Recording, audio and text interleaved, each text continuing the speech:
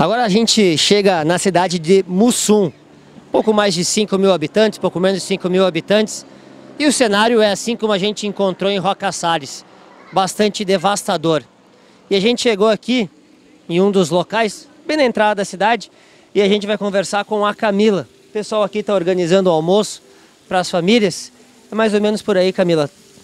É, eu acho que é o mínimo, né? O que a gente pode fazer para ajudar, né? Tá podendo ajudar, eu acho que a gente já fica feliz, porque a gente vê e claro que né, a gente fica meio que de mãos atadas, né? Então, um pouco de comida de acalento e o que a gente puder fazer para ajudar, a gente vai estar tá fazendo aí. Essa aqui de Mussum mesmo? Guaporé, Guaporé. E veio para ajudar o pessoal. Isso, a gente vê e como foi feriado também, né? Então a gente pode estar tá ajudando o que a gente pode, né? Então eu acho que o mínimo é um pouco de, de alimento e de repente esperança, né? Para que essas famílias não desistam e que possam continuar enfrentando o que, que vem pela frente. A gente viu o pessoal aqui da casa à frente já dizendo, não, já almocei. O quanto uh, deixa o coração de vocês aquecido, tá ajudando esse pessoal nesse momento, Camila?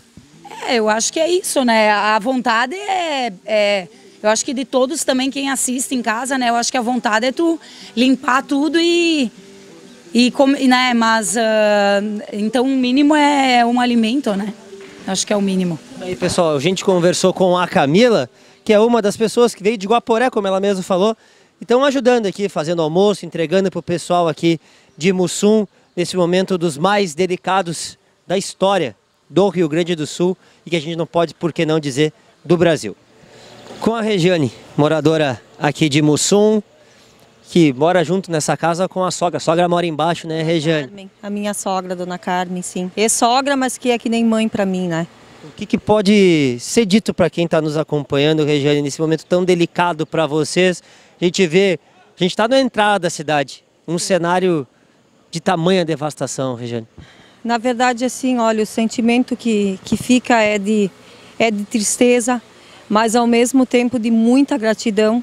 Agradecer a Deus pela gente estar tá vivo, porque bem material e o que a gente perdeu aqui, a gente conquista, a gente vai buscar novamente. Agora a nossa vida a gente não teria mais.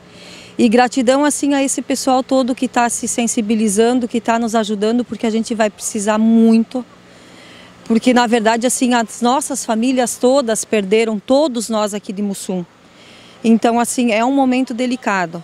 E assim, agradecimento assim especial a todos que estão vindo de todas as regiões, enfim, eh, se sensibilizando e nos ajudando com comida, água, eh, vestir, vestir, porque a gente também saiu de casa somente com a roupa do corpo e a, a bolsa, talvez, algum documento. Vocês conseguiram, felizmente, se salvar, né, Regiane? Como é que foi aquele momento quando a água começou a subir, a adentrar na parte de baixo da casa e até onde que ela chegou aqui na sua residência? Na verdade, aqui na casa da, da dona Carmen nunca tinha subido no andar de cima. Né? Nós moramos aqui, eu moro há 30 anos aqui com ela quase. E no andar de baixo, então tiramos as coisas de baixo e subimos para o andar de cima. É, na enchente que a gente teve lá em 2020, ali no início da pandemia, nós ficamos em 20 em cima da casa, né? comendo, dormindo e, e aguardando a água baixar. Dessa vez a gente achou que não fosse vir. E nós estávamos no segundo andar, uh, com a água já batendo na altura da cintura. E a gente achou que não fosse subir, em questão de minutos ela subiu. A gente acabou saindo de dentro de casa assim, ó, nos últimos minutos, achando que a gente não fosse conseguir, na verdade, porque nós estávamos na sacada com um metro e vinte mais ou menos de água já em cima de cadeiras. E a gente tirou primeiro Dona Carmen, seu Wildo e a minha filha Maria Luísa e depois então o rapaz que passou aqui de, de, de bote, de Kaique, na verdade, voltou e buscou eu e meu marido Jonas. Então, assim, ó, era um desespero, porque a gente achou que não fosse conseguir sair da casa, porque a água veio muito rápido e nós ficamos ali.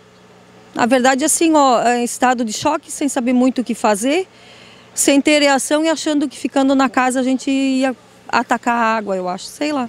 Ana Rejane, para a gente encerrar, esse cenário que a, gente está mostrando e que a senhora, desde terça-feira, quarta-feira, enfim, agora que a água está baixando, já baixou, observa. Chegou a imaginar alguma vez ver essa região onde a senhora mora há tanto tempo nesse estado como está hoje? Não, nunca. Não. Nunca imaginei que fosse sempre soube que vinha água, sempre soube que fomos uma cidade afetada ali, que vem enchente, mas nunca imaginei que fosse criar tamanha devastação em toda a cidade. Pessoal, aqui em Mussul a gente conversa com o Anderson, que é presidente da Volunteer Sul, de bombeiros voluntários, que estão sendo fundamentais nessa ajuda humanitária, né, Anderson, e na busca por pessoas que infelizmente podem ter perdido a vida. Perfeito, perfeito. Estamos aqui para somar as demais forças do Estado, tanto o Corpo de Bombeiros Militares como Defesa Civil e a comunidade como um todo, que está procurando assessorar é uma situação bastante caótica, né? Eu costumo eh, dizer que parece um cenário de guerra, né, porque a gente tem encontrado aqui. Mas felizmente estamos conseguindo auxiliar a comunidade. Já nossas equipes localizaram dois corpos hoje pela manhã, ainda continuam trabalhando em várias áreas onde há possibilidade de encontrar mais corpos e também estamos assessorando a comunidade de uma forma geral com limpeza de prédios públicos, é, limpeza de casas, inclusive com serviço de ambulância também para atendimento de emergências. Estamos com 200 bombeiros voluntários é, distribuindo entre as cidades de Mussum, de Encantado e de Roca Salles. E cerca de 25 viaturas entre caminhões, carro leve, embarcações, tudo isso para a gente poder assessorar um pouquinho a comunidade que com certeza foi fortemente atingida. Esse trabalho de união nesses momentos, Anderson, e aproveito e te pergunto, é, é muito difícil, nenhum bombeiro, seja ele militar, seja ele voluntário, está preparado para esse tipo de situação, né, que vocês estão percebendo. Como é que vocês estão trabalhando isso juntamente com o pessoal das corporações? Olha, uh, o preparo psicológico do bombeiro, ele é preparado para trabalhar nesse tipo de ocorrência. Claro que do, no maior vulto, assim, é, se, é, há necessidade de um preparo ainda maior, né? O que a gente percebe é que nenhum município está preparado para um incidente de tamanha magnitude. Então, por isso a importância do trabalho conjunto dos mais diversos órgãos, porque quem está precisando de ajuda não quer saber a cor do uniforme, não quer saber a modalidade, ele quer ser atendido. Então, é isso que nós estamos fazendo aqui com é, apoio do Estado, das demais organizações, dando esse suporte para as comunidades que precisam e merecem esse carinho, esse auxílio nesse momento de tanto é, sofrimento. Né? Você vê nas filmagens do nosso colega Claudir Pontinho, o refeitório desta escola aqui em Mussum, onde foram encontrados vários alimentos. E, obviamente, em virtude da água, em virtude do tempo, da falta de luz, este foi o cenário encontrado.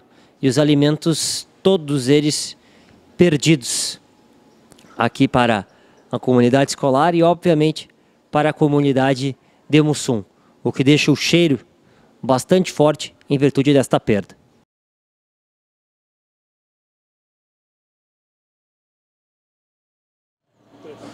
A gente conversa com a dona Maria Cristina, isso porque ela contava para nós que foi a segunda vez que ela perdeu tudo em virtude das cheias aqui do rio Taquari. É isso, dona Cristina? Isso, eu moro ali na rua Taquari, perto do cemitério, já é a segunda vez, construí de volta, né? Tô devendo. E agora levou tudo, agora além de levar a casa, levou móveis, a gente sente muito, bastante, bastante gente que morreram também, né?